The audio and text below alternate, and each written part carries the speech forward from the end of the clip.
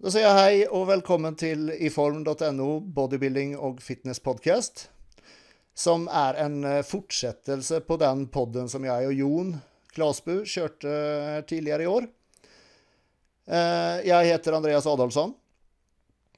Og med meg i dag på Skype så har jeg Jørn Rønnåsen, også kjent som Fysio-Jørn på Instagram. Eh, han har konkurrert i menns fysikk et antall ganger og uh, gjort det veldig bra. Blant annet uh, vunnet Oslo Grand Prix. vi skal i hvert fall ta en nærmere prat med han om hans tilnærming til kost, trening og andre ting. Velkommen, Jørn. Takk, takk. du kan vel bare starte med å presentere deg selv. Fortelle hvem du er, og hva du driver med, for dem som ikke vet hvem du er fra før av. Ja, eh, takk for invitasjonen. Mitt eh, navn er som sagt Jørn. Jeg er, eh, er 30 år. Født og oppvokst i Oslo. Eh, er utdannet eh, fysioterapeut og eh, ble ferdigutdannet i 2017. jobber nå som fysioterapeut på en korttidsavdeling for geriatriske eller eldre pasienter. Hvor de da får to ukers opphold med, med, opptrening for å komme hjem igjen.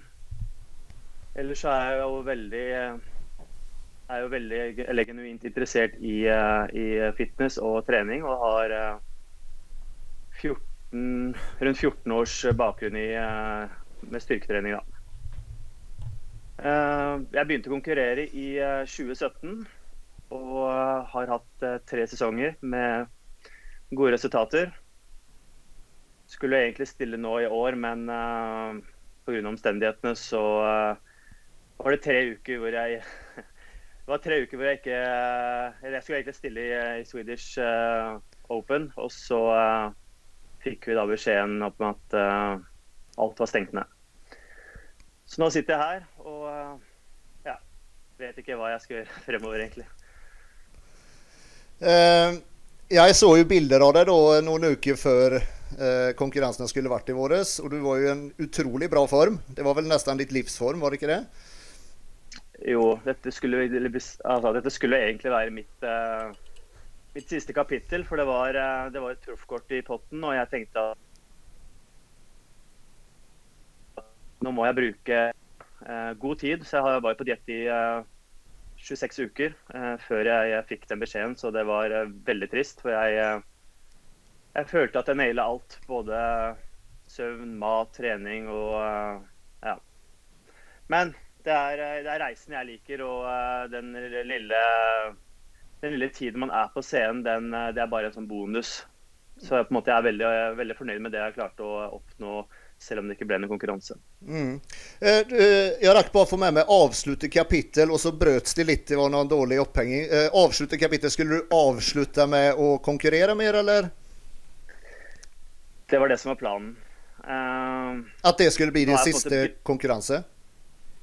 Ja, eller i hvert fall, uh, hvert fall på en god stund. Nå har jeg jo uh, nå har jo halve året bestått av eh, å komme seg fra en diett. Og så når jeg endelig har begynt å kjenne at kroppen er eh, Eller begynner å spille på lag igjen, så hiver man seg løs på en ny runde. I og med at jeg bruker såpass mange uker på diett.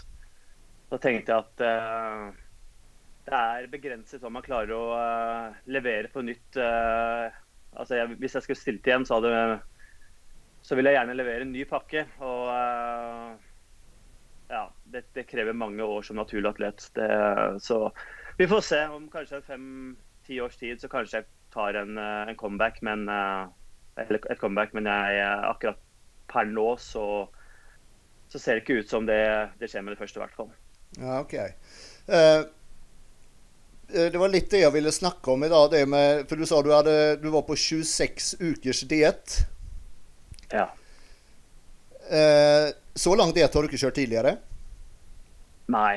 Eh, men eh, det var en mye bedre diett. For jeg, eh, jeg, jeg, levde jo opp i, dietten tidligere, så nå har jeg hatt tre forskjellige tilnærminger til dietten, bare for å kjenne hva som egentlig fungerer. Jeg har jo både hatt en uh, veldig kort diett uh, første året, Og så andre året hadde jeg en litt lengre diett med, med litt annet makro. Jeg har hatt litt forandring i makroen også, med, med høyprotein og lavprotein og, og en sånn middle ground som jeg hadde sist gang nå, med, med, med litt lengre tid på diett. Og det, det, har fungert veldig veldig greit. Og da har jeg hatt tid til refeeds og diet breaks. og Jeg har hatt, hatt rom for å kunne være litt med familien uten å, uh, uten å på en måte Altså Den ene dagen jeg har skeiet ut, det har ikke hatt så stor betydning med at det er såpass mange uker. Men tidligere har jo det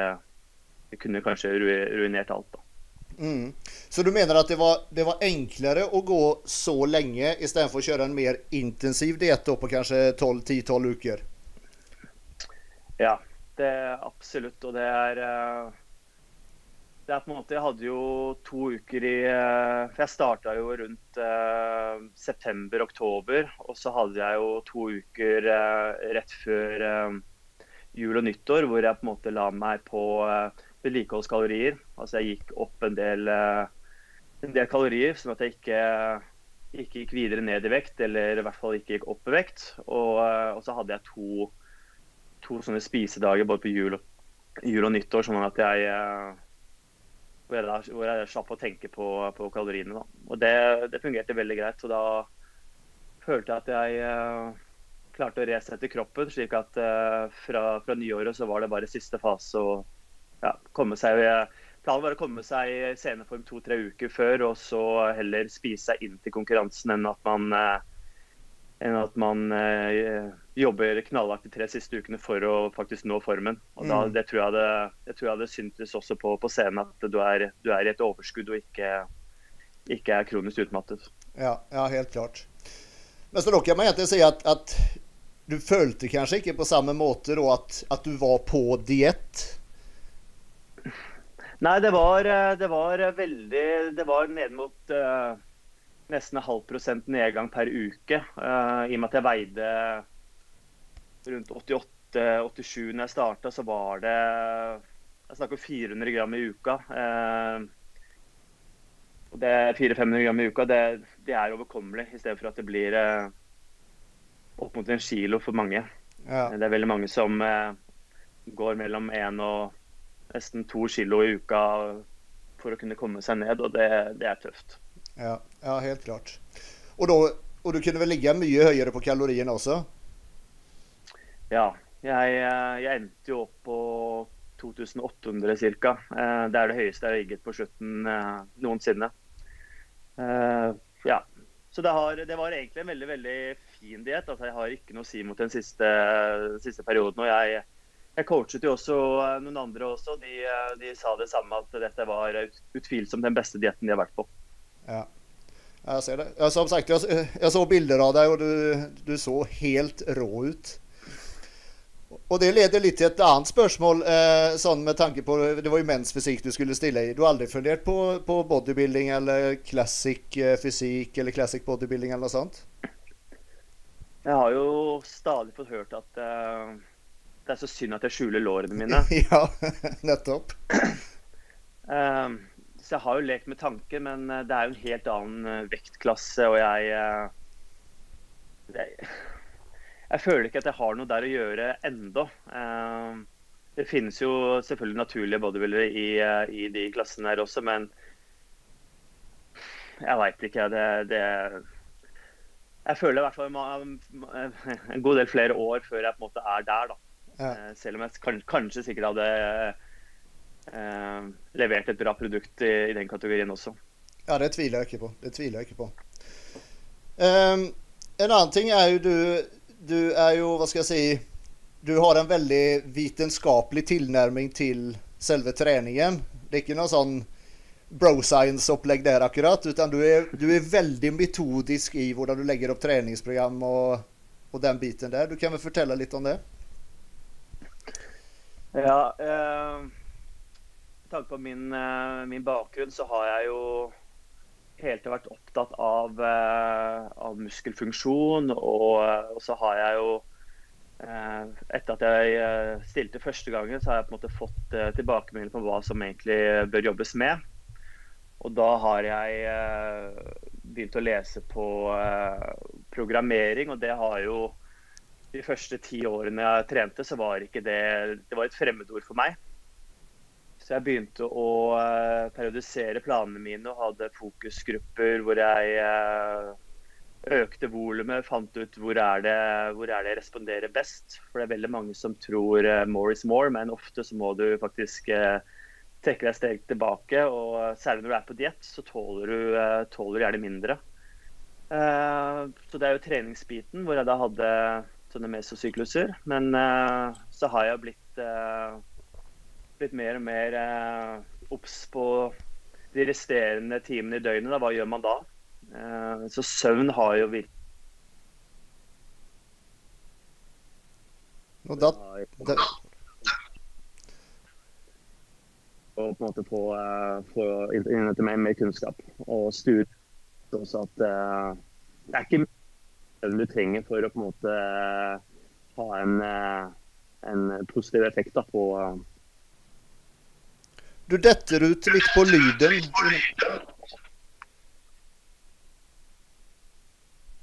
Jeg hører deg. Skal vi se. Si nå. Hører du meg bedre nå? Ja, ja det, det var mye bedre. OK. Nei, jeg, jeg, måtte bare ta ut disse her. Jeg tror kanskje det Ja, eh, mye bedre nå. Eh, om du tar fra begynnelsen igjen, når, når du snakker om eh, det du gjør utenom trening også, med søvn og sånne ting. Ja. Um, det vi vet, er at uh, søvn har jo en prestasjonsfremmende effekt. Uh, kanskje den beste. Uh, uansett hvor, flink du er på trening og mat. Hvis du da hvis du da amputerer søvnen ved å stå opp tidlig for å trene, eh, slik at du får en time eller to mindre søvn, så, så eh, hvert fall det jeg sier til atletene mine, at det er mye bedre at du tar deg en fridag hvis du ikke rekker å, å trene den dagen der. Uh, fordi bare, bare, 45 minutter, en time ekstra søvn, det kan faktisk uh, skifte fra, fra hvor er det du egentlig uh, mister masse, om det er, om det er fettfri masse, eller om det er fettmasse som du mister, så kan det faktisk være Vekttapet er lik, men, men, det var helt reversert, de to forholdene med hverandre, hvis du har mindre søvn. Så jeg, jeg har jo mange prosedyrer jeg gjør før jeg legger meg, slik at jeg vet at søvnen er optimal. Jeg vet ikke om jeg skal ta noe ja, ja, gjerne, inn i det. Gjerne gå inn på det. Nei, fordi jeg sikrer meg alltid åtte timers søvn. Det er minimum. Uh, men, det er på en måte hva jeg gjør. for det, Du kan godt sove åtte timer, men hvis ikke kvaliteten er god, så, så er du nesten like lang. Og da sørger jeg for at jeg ikke får i meg koffein eh, altfor sent. For det har jo en halveringstid på fem til seks timer. Så jeg tar jo egentlig min, min dose koffein tar jeg rundt lunsjtider, 11-12 selv om jeg trener eh, seks-syv på kvelden. Ehm, og så eh, prøver jeg å unngå bruk av, eh, av skjermer den siste timen. hvor jeg da bruker sånne briller for å på en måte blokkere det blå lyset. For det blå lyset har en negativ innvirkning på produksjonen av melatonin. Mm. Og melatonin er kroppens søvnhormon, og da, da, blir det ofte vanskeligere å få sove. Um, I tillegg så uh, tar jeg meg en varm dusj, og jeg sover med sokker. og Det er, det er, flere, det er, det er ganske mange ting jeg gjør som, uh, som folk rister på hodet på, men, uh, men det, hjelper. For jeg har hatt, hatt en kronglete nese siste, helt siden jeg var 12-13 år. og da, da har, har søvnen vært, vært et problem. Men, men, nå har jeg funnet min, min, tilnærming som gjør at jeg, jeg får en god natts søvn. Og jeg sliter ikke på ettermiddagen med å, med å, bli trøtt. Eh, jeg ser veldig mange som må ha en time eller to sånn powernap eh, på ettermiddagen. Og det, det, har jeg ikke trengt de siste fire årene. Så, mm. Sove med sokkene, det, det, er noe jeg har sett også at du gjør. Hva, hva, hva er det det gjør? Eller hva, hva hjelper det med? Mm, når man sover, så så beveger man seg en, eh, en god del. Eh, I hvert fall en del av de syklusene så, eh, så har, man, har, man, en del bevegelse i kroppen. Og det gjør at kan gjøre at, eh, at føttene havner utenfor dyna. Og da registrerer kroppen at det er, eh, at det er kaldt. Og så oppregulerer den kjernetemperaturen, som gjør at du blir veldig varm under dyna. Som gjør at du da tar av deg dyna for å, eh, for å nedregulere. Og det at du eh, gjør disse bevegelsene, gjør at du, du kommer ut av f.eks. den dype søvn da, som, eh, som, vi vet har en, en, en god innvirkning på, på, å fjerne de avfallsstoffene som produseres i løpet av dagen, og for eh, læring og, ja, og for en del produksjon av, av hormoner. Da. Så, så, det er et sånn enkel, sånn enkel tips man kan, kan gjøre. og jeg jeg sverger til det. det du, merker, du, merker at du sover bedre med bare den greien der? Nå har jeg på en måte ikke Nå har jeg gjort dette i, i tre år, da. Eh, cirka sovet med sokker hver dag i tre år, eller to, derfor to år. Så på en måte har ikke Jeg husker ikke hvordan det var å ikke sove med det. Men, men eh, jeg, jeg, klarer ikke å sove uten det heller nå. Så det, det har blitt en sånn, en sånn prosedyre jeg gjør hver kveld. Uh -huh. um, ja. I tillegg til at jeg sover med, med en sånt neseplaster over nesa for å holde, holde jeg får god ventilering. Da. Det er også viktig med tanke på at jeg har hatt en kronisk tett nese. Mm. Men det er noe med, med tanke på at du er, du er såpass opptatt av å få god søvn som du er. Du har aldri problem med å sovne at du, at du øh, tenker for mye på det, liksom, om du skjønner hva jeg mener? Nei, jeg, eh, jeg, sovner etter fem minutter. Under fem minutter så er jeg Ja, du gjør det? Ja, ja. Jeg har aldri hatt noe problem med å sove. Yes. Yes. Så man kan si at du legger like mye i det som er utenom trening, som i selve treningen? Om ikke enda mer, nesten? Ja. ja det er, treninga er jo stimuli. Og så er det resten. Det er da du på en måte mm. uh, nyttiggjør deg av det stimuliet. Hvis du da ikke, hvis du ikke da har, har, eh, resten av døgnet på stell, så får du lite utbytte av den treninga. Det kan faktisk være en eh, Det kan faktisk gjøre at du eh, At det kan være en ytterligere påkjenning. Da. Så jeg har jo særlig i, som fysioterapeut så har jeg jo sett småbarnsmødre som, som skal fylle på med trening i en allerede hektisk hverdag. Og da sier jeg at dette her Jeg tror du heller må ta noen steg tilbake og så ha fokus på, på stressmestring og, og, alle de tingene der, da, istedenfor å, å trene ekstra. Mm, mm. Selve, selve, treningen din, da, hvordan ser den ut? Hvor mange dager i uka trener du? Hvordan ser treningsopplegget ut? Jeg har vært innom uh, fullkropp, fullkroppssplitter. Det var jeg jo veldig fan av i fjor og i forrige fjor. Uh, men i år så har jeg lyst til å prøve noe nytt, fordi jeg uh, det går litt mest på, å, på motivasjon også. Eh, så akkurat nå så har jeg en veldig bro-tilnærming. Hvor jeg har en syvdags splitt. Eh, det er egentlig kun for at måte, jeg uh, jeg vet ikke, til å bare se hvordan jeg responderer på det. og det er på en måte ikke noe, Nå har jeg ikke noe deadline. Jeg har bare lyst til å få nok stimuli på hele kroppen. Og så har jeg heller uh, litt ekstra fokus. Eh, som bl.a. skuldre, så, så, har jeg to eller tre ganger i uka hvor jeg, hvor jeg treffer det. For jeg veit at jeg, jeg det, det, er på en måte mitt, min akilleshæl. Det er der jeg sliter litt. ellers så er det Ja. Det er, det er, syv dager i uka. Det fungerer veldig greit. Er det hver muskelgruppe én gang i uka, da, eller? Ja, som sagt, skuldre er jo nå to eller tre ganger i uka. Mm. Resten er vel én. Men de, de overlapper jo litt. da. Ja, så det er på en måte, Hvis man skal begynne å, hvis man skal begynne å dele opp, så på en måte er det ikke det er på en måte når du, når du, når du trener ben, så, eller bein, så får du ikke Du klarer ikke isolere muskelgruppe. Det, det er umulig. Mm. Så på en måte det blir jo noe stimuli på hver muskelgruppe flere ganger i uka, men sånn Direkte sånn, ho, Hoved så er det på en måte én eller to-tre mm. på skuldra. Og volumen, hvor, hvor, stor er den per muskelgruppe sånn cirka? Det kommer an på. Det er fra muskel til muskel. Altså, skuldre er det rundt eh, 20-22 sett, og resten så ligger det kanskje på rundt eh, 15, kanskje. Mm. Eh, så det er, ikke, det er, ikke, noe voldsomme greier. Men nå, akkurat nå så har jeg vært, eh, vært på en minicut, og er nå på en, eh, minibulk i 15 uker. og i den perioden så kan jeg jo se hvordan jeg responderer, om jeg på en måte orker å øke, øke sett. da. Mm. Men det må jeg ta fra uke til uke da, for å se hva jeg, hva jeg trenger, om jeg hele tatt trenger noe mer. Ja.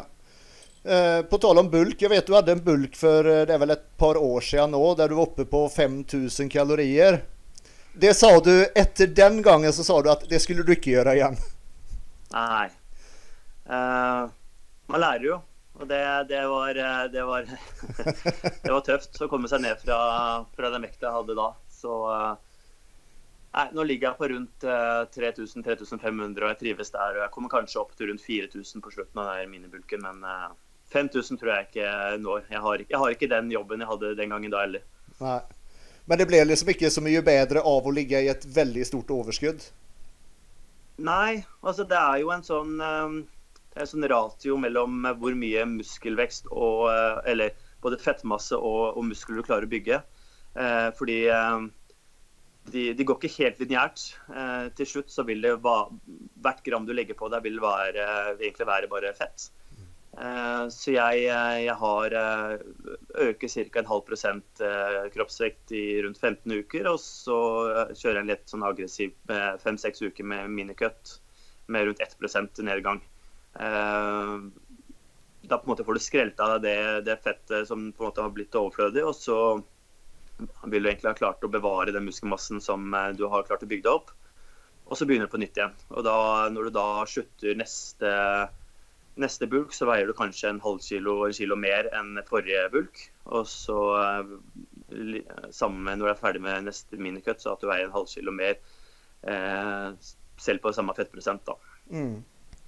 Jeg vet sånn, i, i gamle dager så, så, så, var det jo Da skulle man liksom offseason, da skulle du bulke opp deg 20, gjerne 30 kilo. Og liksom, for det blir mye mer muskler da, men det viser seg nå at det er jo ikke tilfellet.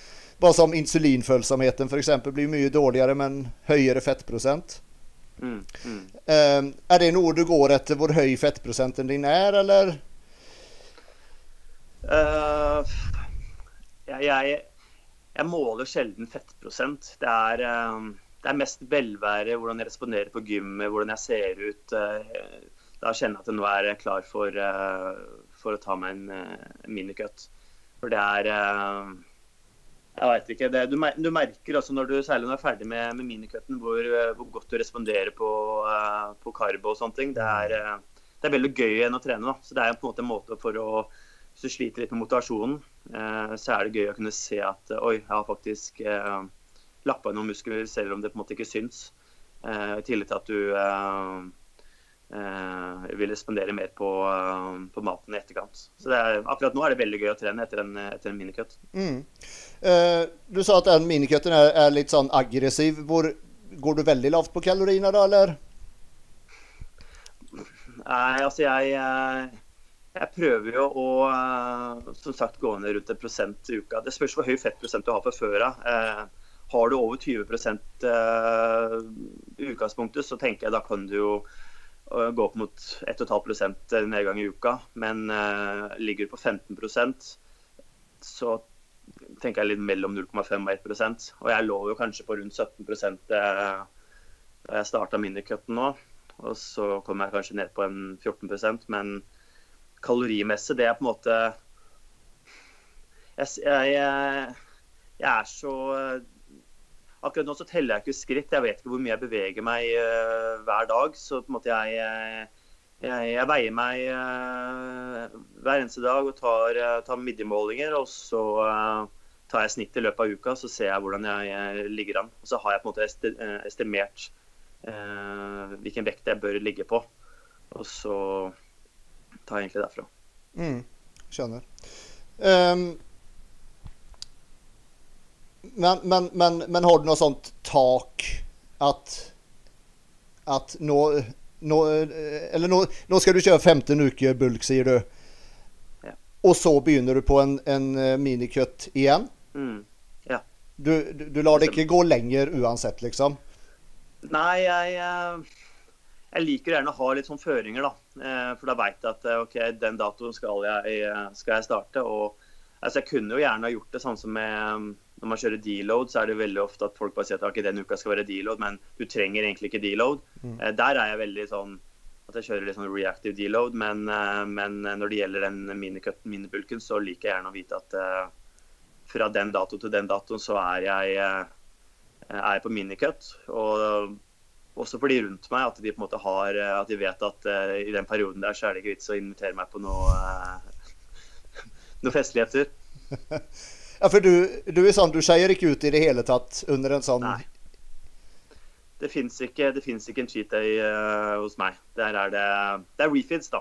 Uh, og ja. det er jo egentlig at man, uh, man drar litt ned på protein og, og fettet for å så fylle opp karbohydratene. Og kanskje, kanskje legger opp på, på vedlikehold der også i en eller to dager. Så på en måte det er min cheat day, da. og du mm. får jo ganske mye mye godt på, på carb også. Du kan jo spise mye sånn vingummigodteri. Det er jo bare karbohydrater, så du trenger ikke å altså, Du kan kalle det cheat day, men det er, ikke, det er ikke burgere og pizza og ting som på en måte ikke kan, eh, kan eh, veies og måles i kalorier. Da. Nei. Og nå kjører vel du en eh, Eller ditt kosthold generelt er vel veldig sånn if it fits your macro? Mm. Brunost etter trening og Ja, brunost er godt. Det er veldig godt. Kjører, kjører du fortsatt etter trening? Ja, ikke, ikke, akkurat nå. Det er mer For nå har jeg ikke Jeg, jeg fikk litt cravings på det denne gangen jeg stilte. Det på en måte var min, min treat. Så det var, det var det brunost etter trening. Og det Ja, akkurat nå så Jeg tar det en gang iblant, men det er ikke noe som er når jeg spiser daglig. Det er det ikke. Nei. Jeg har, har andre ting jeg liker nå. OK. Lomper har jeg sett. Går det en del av? ja, jeg har faktisk sendt inn en eh, forespørsel om å bli sponsa, men jeg fikk avslag. men, men eh, sånn fra dag til dag, du et, spiser du omtrent det samme hver dag, eller varierer du mye? Ja, frokosten er så å si det samme hver dag. Og den er eh, Den er Det er egentlig dagens største måltid, det er frokost. OK. Mm. Og så spiser du jevnlig hele dagen? Ja, jeg spiser frokost, lunsj, ettertrening, før trening. Nei, et, etter jobb med det, også før trening. Og så uh, et måltid etter trening. Da. Så er det rundt fem, fem måltider om dagen. Mm, mm. Jeg vet uh, Tidligere så har du prøvd som periodisk faste. Ja. Mener jeg å huske at jeg har lest noe sted. Hva er din erfaring med det? Nei, altså det, Alle dietter fungerer jo, men det er hva, hva er det som er uh, bærekraftig over tid. da. Så det er på en måte Hvis du, hvis du syns at det er en fin tilnærming, så på en måte har ikke noe Det har ikke vist noe bedre eller dårligere effekt. Uh, men for meg så er det Ofte er det veldig altså, ofte, altså, Hvis du spiser fra la oss si fra 12 til 8, da, som kanskje mange gjør, da, hvor for, de har en åttetimersvindu, og så er du invitert til noe matgreier klokken ni, da, så er det dumt å, uh, å alltid si nei. Eh, så for meg var det egentlig mest på pga. de rundt meg. Ellers så syns jeg det var en veldig fin, fin tilnærming. og du, Det tar ikke mange dager før du venner deg til, til det. Og det er, det er enkelt for mange som som småspiser i løpet av dagen og på en måte får komprimert de timene hvor de faktisk får lov til å spise. Og det igjen gjør at de går ned i vekt. Men hvis man da faktisk eh, setter to grupper opp mot hverandre hvor, eh, hvor begge får like mye kalorier og, eh, og samme makrosammensetning, så har de ikke noe, ikke noe mer fordeler eller ulemper enn eh, den andre. Nei. Skader og sånn, har du klart deg å holde deg skadefri opp gjennom årene? Jeg hadde jeg har hatt en del skader, ja. Det har jeg. Men eh, jeg har jo med, med, tanke på min bakgrunn, så på en måte har jeg ikke, jeg har ikke krisemaksimert det når de har kommet. da. Jeg har uh, tatt det mer som en uh, erfaring rikere. Uh, så jeg har jo slitt litt med skulder og en rygg og sånne ting, men akkurat nå så er jeg helt fin. Du sa i stad du har trent i 14 år ca. Ja. Da når du begynte å trene, var var din trening allerede da, eller sånn fra begynnelsen, sånn metodisk og eh, Nei. Du kjør... Nei, langt derifra. OK. Fortell. Ja. Nei, jeg, eh, jeg fikk jo et treningsprogram av, eh, av den lokale treningsinstruktøren, og så fulgte jeg det, og jeg responderte jo veldig godt. Og det, alle som begynner å trene for første gang, responderer jo godt, uansett hva de får servert. Så jeg trodde at nå har jeg fått, eh, fått Den hellige bibel, og på en måte dette her er programmet som, som faktisk gir deg muskelvekst. Så jeg fulgte jo det programmet i mange år. Eh, og så skjønte jeg ikke hvorfor jeg ikke responderte like godt som jeg gjorde det i starten. Eh, så, så, jeg delte dette ut til alle og sa at dette her var, dette var veien å gå, da. Men men det var vel etter, etter at jeg tok PT-studiet og begynte å skjønne at det er, uh, det er, mye mer som skal til for å på en måte komme seg videre enn uh, enn det jeg har eh, blitt opplært i. Og det er samme mat. Det var ikke, jeg, jeg forsto ikke, ikke viktigheten av, av, mat og søvn før langt ut i 20-åra. Riktig. Riktig. Um, det der med treningen, har du, har du noen gang hatt, hatt, hjelp av noen coach eller noe, eller har du alltid gjort alt selv, så å si? Bortsett fra den, det ene treningsprogrammet jeg fikk da, så har jeg gjort alt sjøl. Så jeg hadde jo en eh, jeg hadde jo en coach eh, første året jeg stilte. Eh, men da var det ikke eneste jeg fikk vite, var at jeg var, eh, om jeg var i rute på det jeg eh, For jeg fikk bare kaloriene da også, men jeg styrte jo Det var jo med fitnesspal og, ja, og så Treninga den, den, foreslo jeg selv, og han sa det var OK. Og så Ja. Det er på en måte det eneste jeg har på en måte fått av coaching. da, Og så var det jo jeg selvfølgelig litt på poseringer og sånn, men mm. selve treninga av maten, der på en måte har jeg og, og kosttilskudd har jeg på en måte styrt skuta sjøl. Mm. Kosttilskudd, ja, på tale om det. Hva, hva av kosttilskudd eh, bruker du? Akkurat nå så bruker jeg eh, Eller jeg bruker det alltid. Det er jo keratin. Eh, mm. Fem gram daglig hele året. Det, det, er, det, er, noe som på en måte er like fast om at jeg pusser tenna. Også på diett, eh, ikke sant? Hva sier du? På diett også, ikke sant? Ja, ja. ja. Altså, det er ikke noe, det er ikke noe forskjell på diett og sånne ting. For det er det er, eh, du holder, eh, det er, det er, vann i muskulaturen, og på en måte du presterer bedre på gym. Og de har vist eh, også kognitive bedringer også med, med kreatin. Så det, jeg ser ikke noen grunn til å, å, kutte ut det. Eh, og så er det jo tran og eh, jeg har brukt i perioder hvor jeg Sånn som på diett, så har jeg brukt eh, betalanin også for å kunne klare litt flere repetisjoner eh, eh, på gymmet. Men det er også noe du må bruke over lengre tid for å på en måte bygge opp en buffer. Det er ikke noe som, som uh, hjelper deg på en enkel dose. Uh, noe som mange, veldig mange tror. da. Det er jo den der kløende effekten. Og så har jeg også brukt uh, Citrulinmalat har jeg også brukt mest pga. Uh, den følelsen av pumpen og på en måte at du, du, du utvider blodårene litt. som også har de er litt, eh, de er litt i eh, ja, de, de, er litt usikre på om hvor god effekt det egentlig har, men eh, noen studier viser at det har effekt. Andre har vist moderat eller ingen. Så det, måte, det er ikke noe jeg på måte anbefaler sånn at alle skal ta. Men hvis de spør meg at de trenger noe ekstra, så er betalanin og, og citrullimalat noe jeg også bruker på diett. Anbefaler de bruker på diett. Mm. Just beta-alanin som du sier, for det har jeg brukt de siste månedene. Og der, jeg merker god forskjell der, altså. Mm. På, på, den. Helt klart. Ja. Eh, særlig hvis man skal eh, komme over 10-12 reps, så er det Du, du bygger jo opp, opp en sånn karnosinbuffer som gjør at du, eh, at du eh, holder ut lenger. Så ofte de som driver med crossfit, har jo veldig godt utbytte av det. Men de også har eh, altså Det spørs hvilke, hvilke atleter jeg, eh, jeg, coacher. Sånn som før også. Hvis jeg, når jeg drev med utholdenhetsidrett, så var det jo også bruk av nitrat. Eh, som også har en effekt på, uh, på, på utholdenhet og mm. kunne yte, yte, mer. Men uh, sånn styrkemessig så er ikke, det er ikke mange Det er ikke mange som på en måte er bedre enn kreatin. Altså. Det er hvis det er ett et kosttilskudd skulle anbefale, så er det kreatin. Ja, ja helt klart. Just det med uh, på diett. Jeg vet det er veldig mange som kutter ut kreatin på diett. Nettopp, mm. nettopp fordi at det, det, binder vann, da. Men ikke sant? det er jo i muskulaturen. Mm. Mm. Det, det, er litt misforstått. Nei, det, henger ikke på greip. Nei. nei. Hva med proteinpulver, da? Ikke noe proteinpulver på deg? Jeg bruker det Jo, jeg, jeg bruker det ikke som et eh, Det er jo et kosttilskudd, men jeg, jeg, blander det inn i, i havregrøten på, mm. på, morgenen. Det er eneste gangen jeg bruker uh, proteinpulver.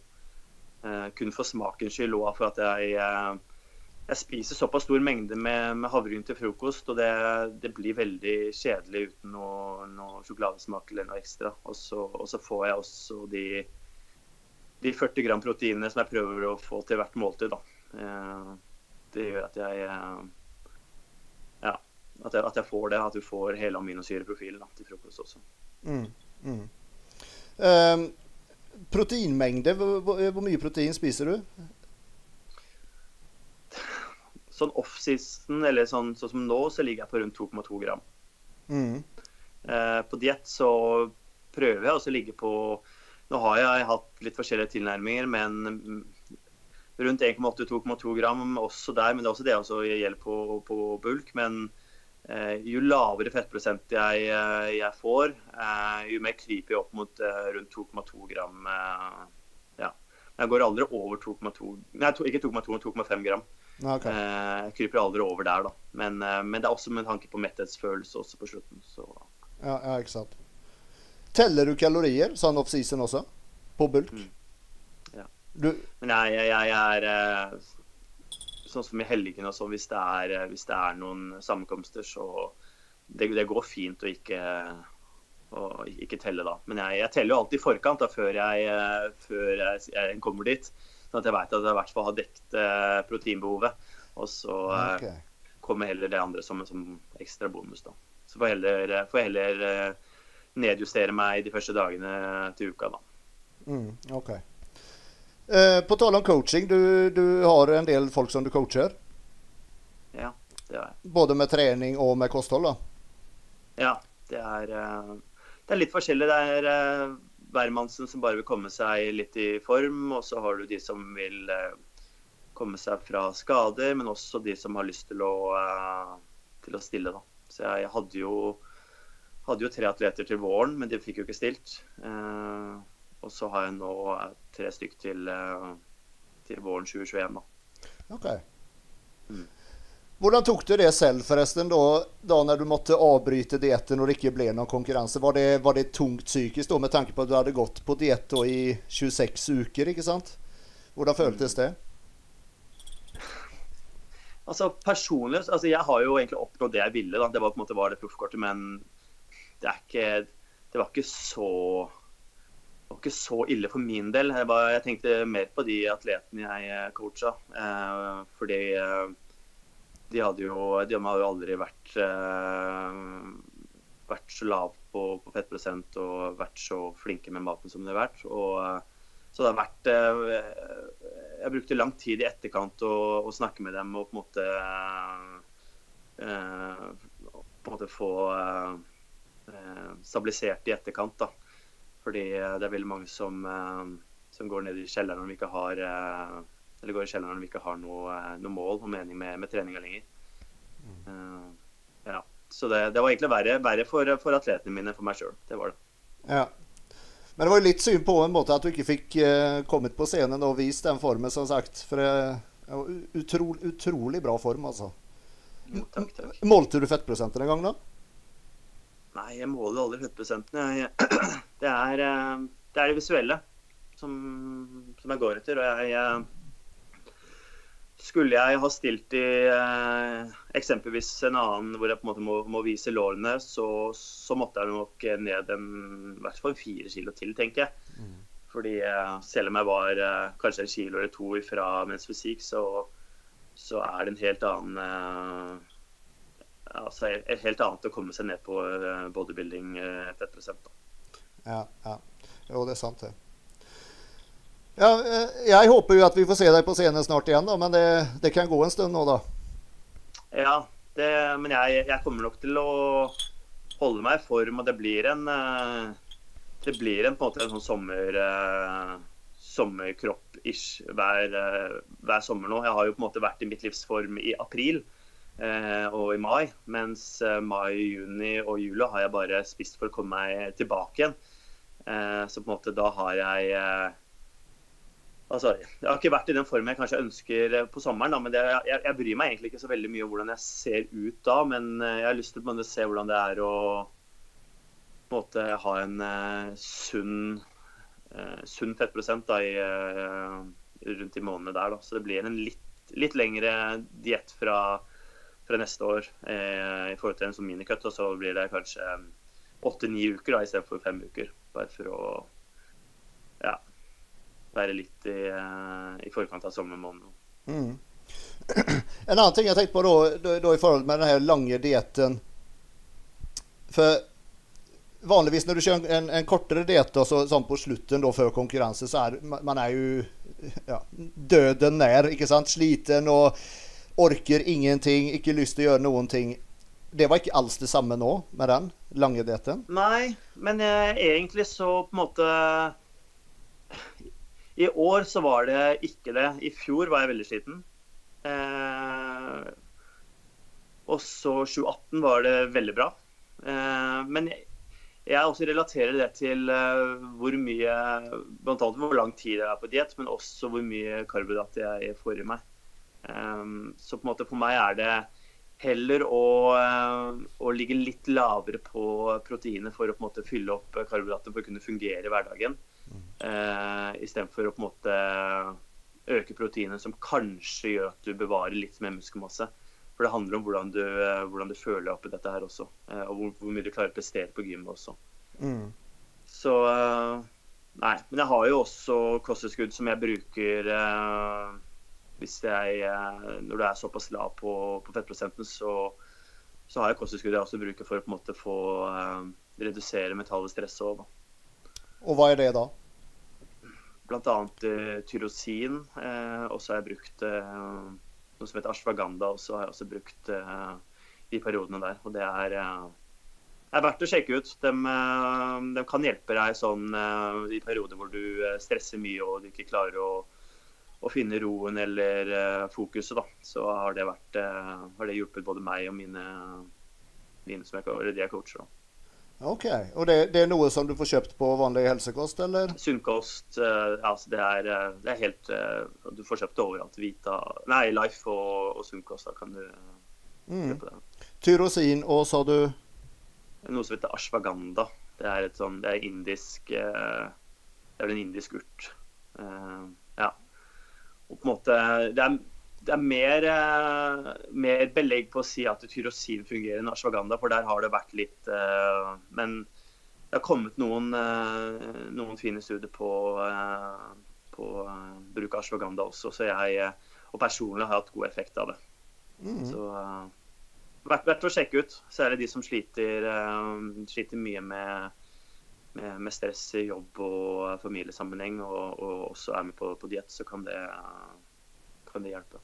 Mm.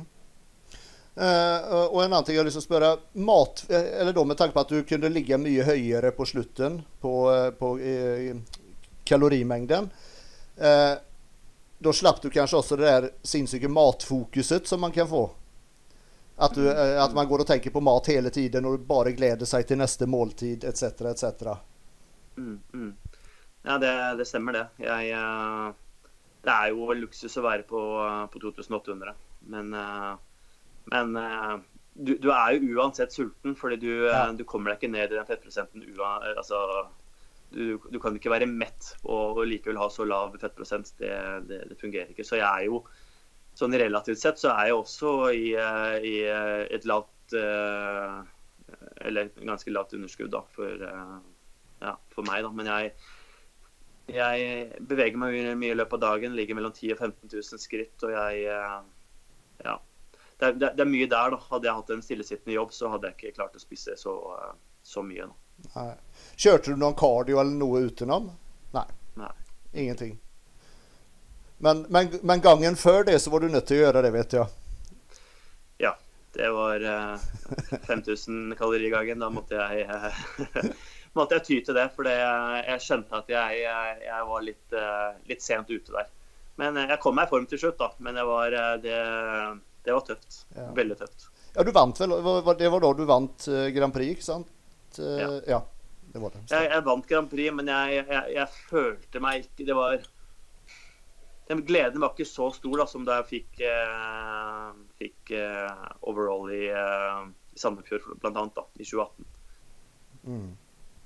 Ja. Ja, nei, da føler jeg egentlig at jeg har vært igjennom det som jeg hadde lyst til å spørre om. Um, er det noe du har lyst til å si sånn til slutt? Nei, det Jeg tenker at du bare Bruk god tid på dietten. Det er mitt um, altså my take home message. Og, uh, og uh, ha rom for å, uh, for å kunne slappe av en gang iblant, men, men ikke ikke drive med sånn cheat days. Det, det, det, gjør bare at du må ta igjen det i løpet av uka. og Det er ikke noe, ikke noe å hente på det. Ta heller en én til to dager med, med, med refeeds. Og det refeeds og, og, lang tid på diett, og da, da blir jeg tror, jeg tror resultatene blir mye bedre for de som har lyst til å prøve å konkurrere. Følte du at du beholdt, beholdt mer muskelmasse òg? Ja, absolutt. Det har gjort, blitt gjort studier på det, men det er bl.a. fra en som heter Bill Campbell. Han gjorde en studie på det hvor de, hvor de da fikk hadde fem dager i uka med rundt 35% underskudd. Og så hadde de to dager i uka hvor de lå i vedlikehold. Og så var det en annen gruppe som hadde 25% underskudd også gjennom hele uken. Og det de så da, at, at den gruppen som hadde de to refeeds-dagene, dem hadde mer fettfri masse eh, kontra den andre, da, eh, selv om vekttapet var likt. Eh, det er litt sånn at De målingene som ble gjort, det har blitt gjort rett i etterkant av de refeeds-dagene. Så det kan være at du har litt mer glykogen i muskulaturen som gjør at du får litt falske resultater. Men sånn psykologisk også så syns jeg det er det er, det er, greit å ha de to dagene hvor, som du kan glede deg til. Ha en gulrot i slutten av uka da, hvor du kan spise litt mer. Så heller, heller, fem dager med litt mer aggressiv, aggressivt underskudd og to dager med, med vedlikehold enn en sånt, sånn flatt tilnærming. Da. Det syns i hvert fall jeg er greit. Og flere av mine, mine kunder også syns det, det, er fint. Da. Ja. Ja, som du sier, jeg har jo alltid benyttet meg av såkalte cheat days. da. Eller jeg tar jo ikke helt av, men jeg spiser mye mer, fast prøver å holde det så bra mat som mulig. da. Og just det du sier, det å bare ha den dagen til å glede seg til, det, det hjelper veldig just på det psykologiske. Da, da klarer du liksom å kjøre hardt i ukene, og så, så vet du at du har den dagen. Ja, men det, det har jo vist at én dag er nok for lite ja. for å på en måte gjøre noe eh, Eh, hormonelle endringer. Da. Eh, du må nok minimum ha, ha to dager, eh, og så eventuelt ha en diet break i, under dietten også, hvor du da som jeg nevnte, ikke går opp eller ned i, i vekt.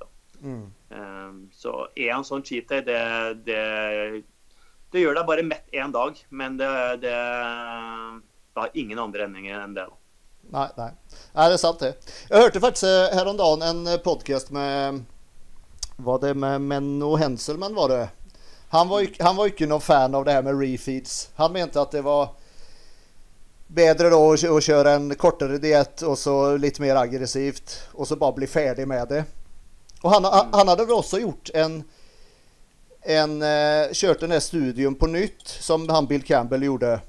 Mm, mm. Uh, for han kommenterte nettopp det som du kommenterte, da, at de hadde målt da, uh, da etter refeeden, når musklene var fulle. Da, at, mm. Og han mente da at det egentlig ikke var noen større for, stor forskjell. Nei. Og, det er, og jeg er jo enig der, fordi etter en sånn Eller etter to refeeds, da du føler deg jo du føler deg jo større og du ser større, du fyller muskulaturen. Så på en måte jeg er helt enig i det han sier. Eh, men, men, jeg tenker også vi må tenke på det, det, det psykologiske perspektivet her også. Ja. Hvis du føler deg konstant flat hele uken, eller eh, også, du har aldri noen dager hvor du på en måte føler deg eh, full, så tenker du at ok, nå bare mister jeg muskulatur. Jeg, og så hvis du har en coach som på en måte ikke ser forskjell på hva flat er enn en, og full, så kan den bare OK, du må fortsatt gå ned i, i kalorier. Og så, og så, er du i en sånn ond spiral, og så blir du bare Du ser bare tynn ut, da, men at du har, eh, du har litt høyere fettprosent. I stedet for at du bare har to dager hvor du fyller deg ut og ser at vet du hva, det er sånn her du vil, eh, vil se ut når vi får fylt deg ut på slutten. I tillegg så er det synes jeg, veldig greit å, å vite hvor mye, mye, karb du egentlig trenger for å fylle deg ut. Eh, slik at man får øvd seg fram til, til peak wake. Eh, wake slik at du uh, vet at okay, du tolererer rundt 500 gram karbohydrater to dager på rad uten å på en måte eh, spille over. da. Mm. Eh, så da har du hele tiden kontroll på utøverne, og på en måte det blir, eh, det blir ikke noe helt nytt av den siste uka. For Hvis du kjører flatt i, i 25 uker, og så siste uka så skal du plutselig ha to dager hvor du da spiser enorme mengder karbohydrater, så jeg tror ikke det er den beste veien å gå. da. Nei, det, det, det er sikkert og visst. Uh, og sen en annen ting det er just da når du skal fylle opp at veldig mange kan jo begynne å spise ting som de da ikke har spist på kanskje 12, 15, 16 uker. Mm. Mm. så, så det er mange Du kan få en del mageproblemer, ja. Yes, mm. yes. Og sen, sen den er at eh, Med å kutte vann, f.eks. Har du kuttet vann og sånn? Første året kutta jeg vann. Jeg, eh, jeg, jeg gjorde det jo bra men jeg, hvis jeg, når jeg sammenligner bildene fra når jeg kutter vann og ikke kutter vann, så er det natt og dag. Det er kanskje ikke noe stor forskjell på, på muskelmasse, men som visuelt sett så, så, eh, så er det det. Eh, og eh, året etter så kutta jeg også vann. Men jeg har jo bilder fra, fra morgenen rett før konkurransen, altså Sandefjord Open, hvor jeg tok overall. Uh, og fikk høre at oi, du ser veldig flat ut. Så sier jeg ja, selv om jeg har karvet opp, så har jeg også kuttet vann. Uh, og du vet at du må ha vann for at karbonaten skal trekkes inn i muskulaturen, ellers blir det bare liggende og ikke nyttiggjøre seg. Så jeg drakk jo tre liter vann på, til frokost nesten. og så noen timer senere så altså, du, du, Nesten at du kjentes ut som ballongen bare ble, ble blåst opp eh, fra, fra, time til time. Da. Mm. Og Det var veldig gøy, eh, og en veldig fin eh, erfaring. Så jeg, eh, og Det har også vist at det å kutte vann og kutte salt og manipulere de tingene der, det det er, eh, det er, et sjansespill. Altså. Det er russisk rulett. Det, det, er høyere sannsynlighet for at du, at du, gjør noe gærent, enn at du, at du vinner på det. Ja, nettopp hvis du er heldig, så kanskje du ser noen få prosent bedre ut. Men sjansen at du ser mye verre ut, er mye, mye større. Ja, men eh, generelt med vann uansett, så eh, Hvis du f.eks. har en, eh, en eh, bikiniutøver eh, som, som, er altfor hard, da, i og med at klassen ikke skal være sånn ekstremt harde, så kan du kutte vann for å få det til å se litt softere ut. Det er på en måte et bruksområde. Eh, ja. Men, men eh, som regel sånn eh, mens fysikk og bodybuilder og sånn, så er det på en måte den, den, den flate eh, looken, den er eh, alle de som vinner. Mm. Det er sant, det. Det er helt sant, det. Jeg husker når jeg Jeg var jo med i Athletic Fitness på den tiden når det var og da første gangen jeg stilte der, da, så skulle man jo kutte vann. ikke sant? Så jeg kutta jo da vannet klokka tolv dagen før. og da, da, er du god i chins og dips. ikke sant? Så det, det er sånn galskap. Mens nå sist, nå sist jeg stilte i fjor, da, da, da kutta jeg ikke vann i det hele tatt. Jeg drakk, jeg drakk litt mindre, bare. Men, eh, men, men, ikke noen kutting i det hele tatt. Nei, og, og så, du gjorde det jo veldig bra. Ja, ikke sant? Og sen eh, sammen med salt. Bare fortsetter å krydre maten helt som vanlig. Ja. Herregud, ja. jeg hører jo folk som, som kutter alt av grillkrydder, hele dietten. Eh, galskap. Ja, ja. Altså, det, er noen, det er noen ting jeg på en måte kan kutte ut den siste uka. Annet eh, hvis du har drukket veldig mye eh, sånn lettprodukter, sånn eh, eh, mye Pepsi Max da, f.eks. Mm. Eh, så er det noen som kan holde igjen litt mer vann pga. de søtningsstoffene. Så at de reduserer eh, eller kutter ut det den siste uken, eh, men fortsatt spiser det samme som de har gjort ellers, eh, kan gjøre at de på en måte får en sånn flushing-effekt. At de får, får, får vekk det siste vannet som på en måte gjort at de eh, ikke har den Selv om fettprosenten er der, så kan det at de gjøre at de ser litt eh, eh overspilled ut. da. Mm. Eh, så det mm, også, også, at man reduserer så er det, jo, det er forskjellige tilnærminger til den peak-weeken også. og det, det også prøver jeg å, å, å, teste litt i forkant om du skal ha en frontload eller en backload eller midload. eller det finnes jo faktisk noen som, som sverger til noe som heter rapid backload, hvor det da spiser all karben på fredagen og så stiller den på lørdagen. Eh, og hvor de da har ligget flatt en hel uke. Og så altså type sånn under 50 gram karb i, uh, i fem-seks dager. Mm. Og så har de uh, en fredag hvor de spiser mellom 1000 og 1500 gram karb. Men da skal du være veldig da, skal du gjort det før. Det er ikke noe du gjør første konkurranse. Nei, nei. Hva pleier du å gjøre? Nei, jeg, jeg pleier å ha som eller altså midload, uh, hvor jeg har en liten, liten frontload på, på lørdagen uh, før. Og så kjører jeg lavt på, på, ja, på karben fra søndag til, til onsdag. Mm. Og så begynner jeg å spise meg opp fra, fra, torsdag og så litt utover på, på fredagen. Og så ser jeg an på lørdag om jeg må fylle på litt, litt til. Men jeg kjører ikke noe veldig aggressivt. Hadde jeg hatt en, hadde hatt en ekstremt lav fettprosent, sånn, uh, så tror jeg kanskje jeg hadde prøvd å tatt en, en sånn rapid backload, bare for å se hvor for Jeg, jeg veit i hvert fall at karbohydrater det, Jeg kan spise enorme mengder karbohydrater uten at jeg at, uten at det blir for mye. da. Mm. Altså, jeg tror jeg kanskje hadde hatt en en, et utbytte av en sånn rapid backload. Mm, mm. Mm. Yes.